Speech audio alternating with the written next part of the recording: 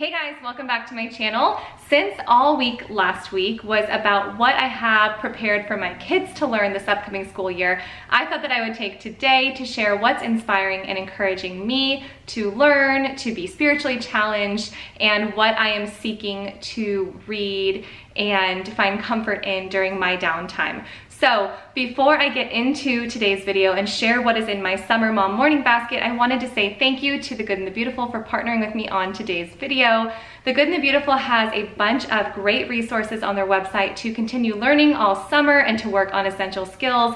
And so they asked me to pick a few things from their website and I found some really fun stuff that I'm going to be using for my kids' quiet time this summer to encourage them to continue learning, but to also help them uh, get back into the habit of having a good quiet time because as I will be sharing my mom morning basket with you, uh, we as a family are just trying to get back into the habit of having quiet time, having downtime, and just working on refining some habits that we kind of lost throughout the last school year. So I know my kids are gonna be really excited to receive some of these things from The Good and the Beautiful, so I'm gonna show you what I picked so for them. first thing I picked off of the website is this flower study, and it comes with this flower game.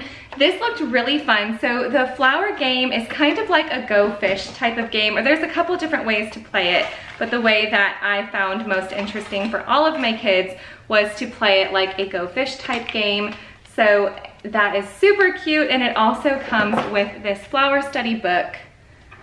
And it's a beautiful book and I know that a couple of my kids in particular will really love this because I do have some little budding botanists in my house. Not me, but them. So that is the first resource I got for them from The Good and the Beautiful this summer. The next resource, now I've always loved their books and also their book lists. They have some great book lists and some really amazing books on their website. Um, so I chose this, A Wolf in the North Woods. This is a level two book from them and I got this for my, my youngest son who loves all things like woodland creatures and animals and all of that. So um, we are getting ready to go on a mountain trip. We go every summer. And of course, he's talking about foxes and wolves and bears and all of that. So I thought that he would like to have this to read this summer. And it is just the perfect level for him to read. So I got that. Next, I got Drawing 100 Fun and Easy Trees. Now, my brother loves The Good and the Beautiful, and so he was talking about this book that he had gotten for his kids, and his kids really enjoyed it, and I thought this would be like the perfect summer quiet time activity. So there are just literally a 100 different trees in here for them to learn how to draw. My oldest is just such an amazing artist and um, my other ones want so badly to follow in her footsteps and the different little drawing prompts in their uh, handwriting books from The Good and the Beautiful um, always help them and encourage them. And so I thought that getting them that 100 Fun and Easy Trees would be another fun resource for them. And then last but not least, I got the creating, Creative Writing Notebook number one and Creative Writing Notebook number two for my older two kids. This looks so perfect. They love to, they, they are constantly taking my stapler and paper and coming up with making their own books or their own comic books or like they put together plays and things like that. So I thought that this creative writing notebook would be so good for them. So there's a descriptive writing practice. I just think it would be good for them to have some more guidance. There's some more ideas, colors. Let's see what else is in here. Writing exercises, story starters, things like that. And then the um, notebook number two does, it, it's a similar format. Writing for fun. This section will guide you through activities that will spark imagination, kindle creativity, and help you enjoy writing for fun. It does not go in any particular order. So the book number one I got for my son Jesse, and book number two I got for Isabella. There's flash writing. Story number one, this section will guide you through create, creating story ideas using one of these ideas to write a story and then refining your story. And it's just really colorful and I think a really fun summer activity book for them to use and to continue working on their narrations and composition skills and things like that. So those are just a few of the things that The Good and the Beautiful has on their website that would be perfect for summer learning and to work on some key skills. Uh, I just grabbed five of them, but I will list a bunch of them down below if you want to check them out. So thank you so much to Good and the Beautiful for partnering with me on today's video. Okay, so I'm gonna show you my mom basket. I got this basket from Target. This actually came, I ordered two of them and I thought they were smaller. I just did like a drive up pickup and when I got them, they were much larger than I expected. I wanted to use them as laundry hampers for our towels um, and I just didn't want them to be that big on the floor. But then I realized that it goes really well with our bedroom decor and so I cleared off our nightstands from the stuff we had on there before and I put these up and they're really cute in our room we have, it just, it goes perfectly with the decor in our room. So they are big, but as you see, John and I are book lovers, we're book collectors. One of my girlfriends recently said, I see you have the gift of collecting books. I'm like, could you please tell my husband that that's a gift? because I don't think he sees it that way, but he's actually the same way as well. So we both love, we're both in a ton of different books at the same time. Like we do some together. He has his books he's reading on his own. He has the books that he's reading through with his junior and senior guys. He has books spiritually that he's reading through and books that, you know, just he loves to read about Florida history. So he's got tons of books as well. So I'm not the only one.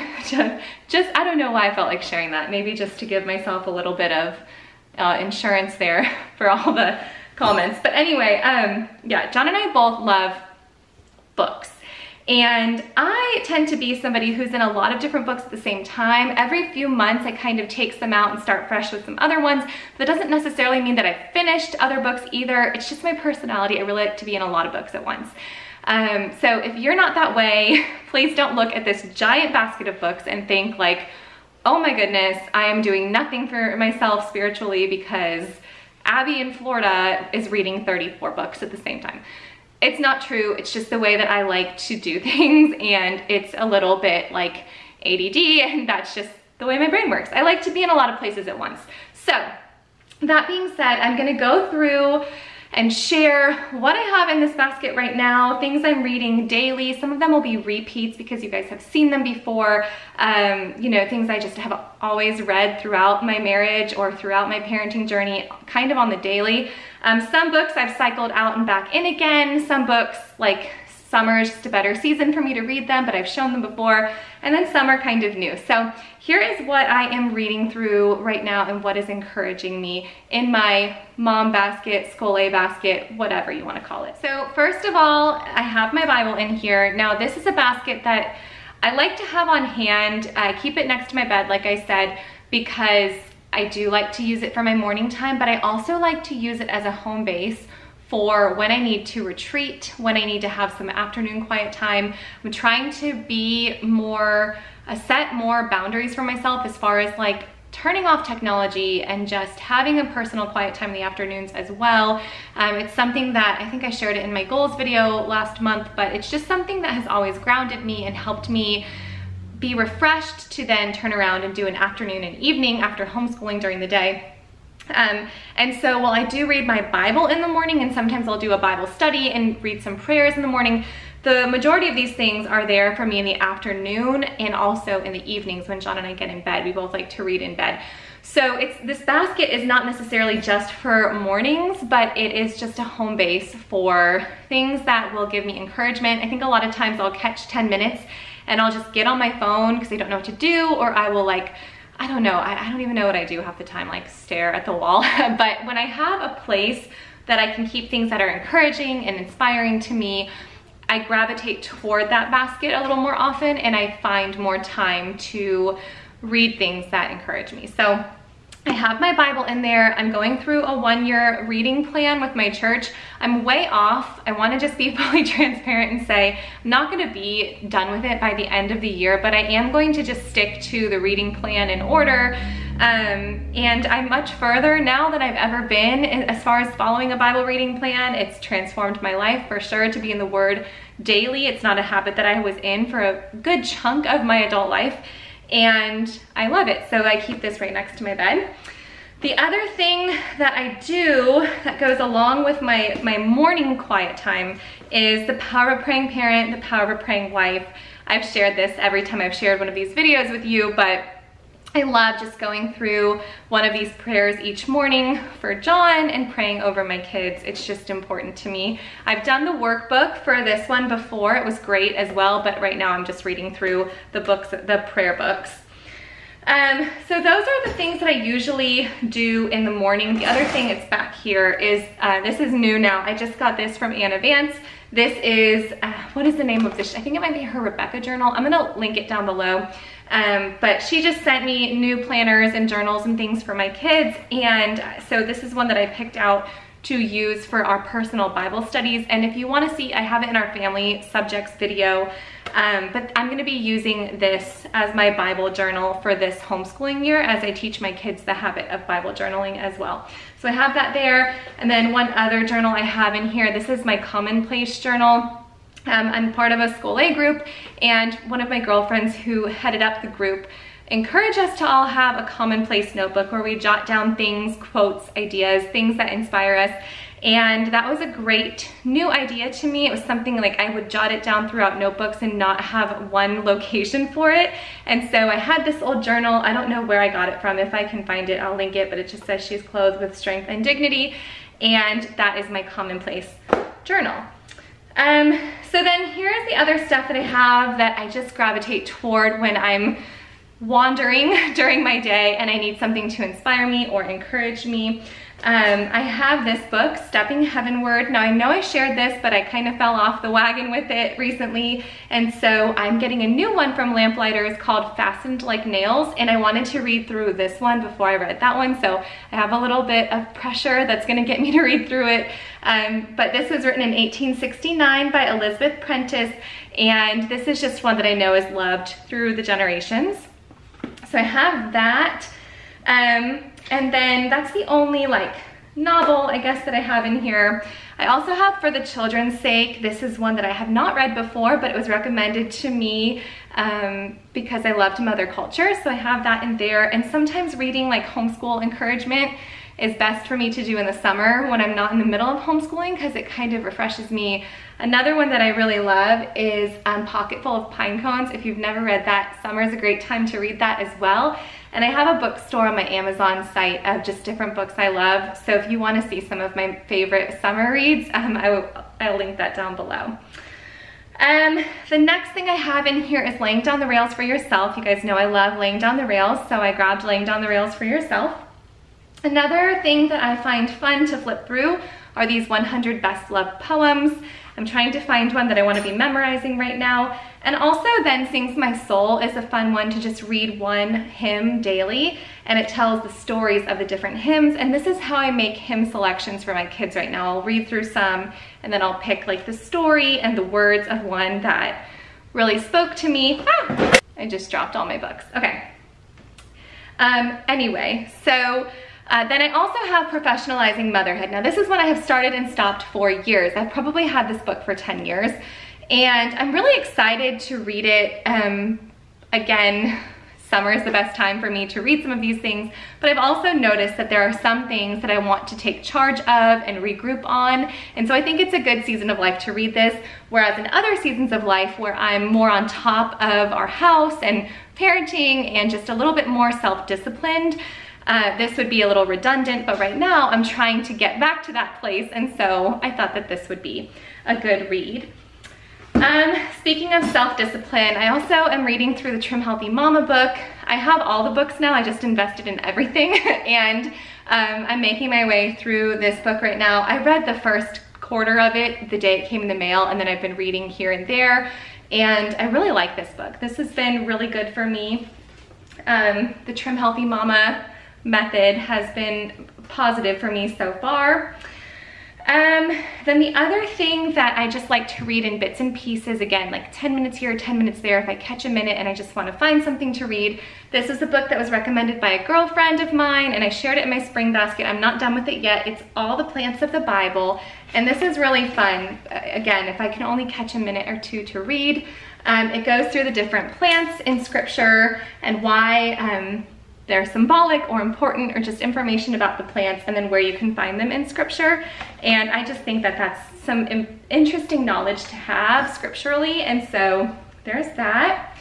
And then the other thing I have in here that I just like to kind of read at random is, uh, let's see, I guess my address is all over these. Let's see if I can find one, here we go. So I have my Wild and Free subscription, which is a digital subscription, but they send you a print every single month as well, print sampling. I love this book. This is my favorite. This is my favorite resource to grab when I am just having an afternoon coffee.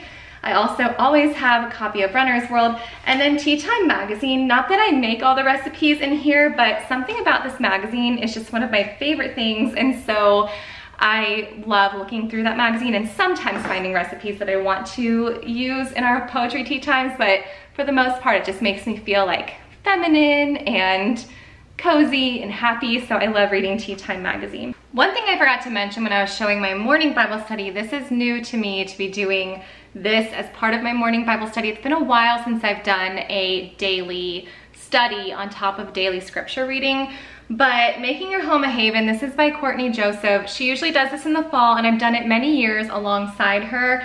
But this year, like I was saying with the Professionalizing Motherhood book, I've noticed that there are some things that used to be on the forefront of my mind that have not been on the forefront of my mind lately and it shows in my home and so I decided to go ahead and do this on my own a couple months before she typically does it. I think she usually does it in like October.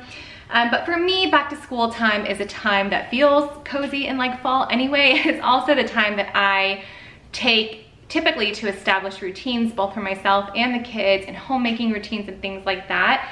And so I wanted to go ahead and do this study as a refresher. So I have this Making Your Home a Haven Bible study by Courtney Joseph. It's very simple and it's really cute. Every week you do something like lighting a candle every morning and it's symbolic of something or putting flowers on your table and it's just like little tangible ways to um, make your home a haven physically, but also spiritually. So I love this study and it's one that I'm just gonna do to kind of like refresh my heart a little bit as a homemaker. And then here are the things that John and I are reading through together in the evenings. Um, we're still reading through the Five Love Languages book um, and we're also doing the Love Language Minute devotional. And then we just finally got our hands on the Five Love Languages of Children, or we, we had it, but we didn't start reading it because we were really starting through with this one. And because again, it's summer, I'm not doing school with the kids, I'm kind of seeing them on a more personal level. Homeschool moms, you know what I mean. Like when you're homeschooling, you see them every day, but you don't necessarily um, see, I don't know, like just you have a different, I don't know, different focus during homeschool, I guess. And so for me, this is a season that I can just like see them eye to eye, make eye contact, have some really good heart to heart time with them. And so it's the perfect time to be reading through this as well. And then a couple of other things that are in here.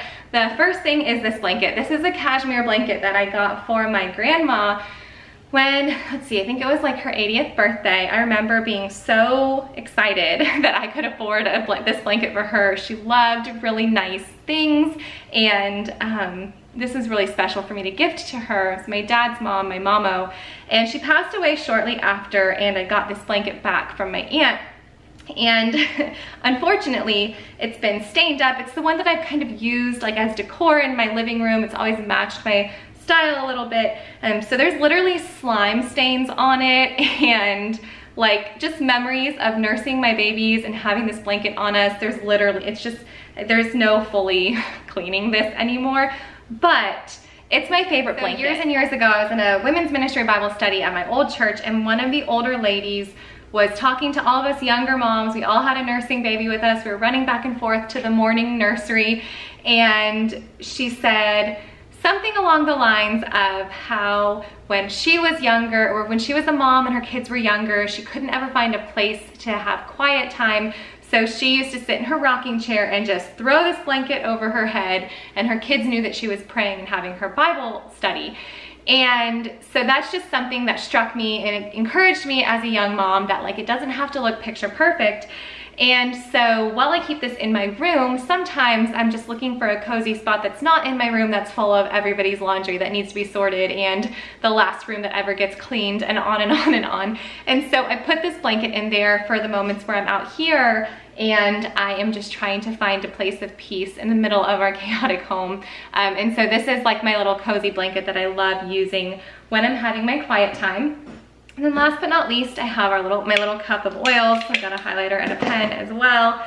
Um, I've got my morning oils that I use like Endoflex and, um, well, it's deep down, or here it is, um, Plus. Those are my morning oils. But then I also have oils just for like whatever time of day it is, whatever I'm needing, just quick comfort. Um, so I've got Valor, and I've got Peace and Calming, which I probably get at the most. I've also got Grounding, um, I have Gentle Baby. It's my favorite one for the evenings, especially because sometimes Annie's in bed with me while I'm reading to her and also reading myself. White Angelica for the days that I'm like super running to my room for a little peace, like ah, and stress away. So that is what is in my mom basket, my Schole basket just little bits and pieces of things depending on when I go to the basket that are just a home base for things that encourage and inspire me. Um, so I just wanted to share those things with you. Like I said, I will link some other books down below that I, I love throughout the year as well that just don't happen to be in this basket right now. Let me know down below what some books are that really encourage you and when you find time to read those books or find some encouragement throughout your day. And thank you so much, Good and the Beautiful, for partnering with me on today's video. I'll see you guys later. Bye.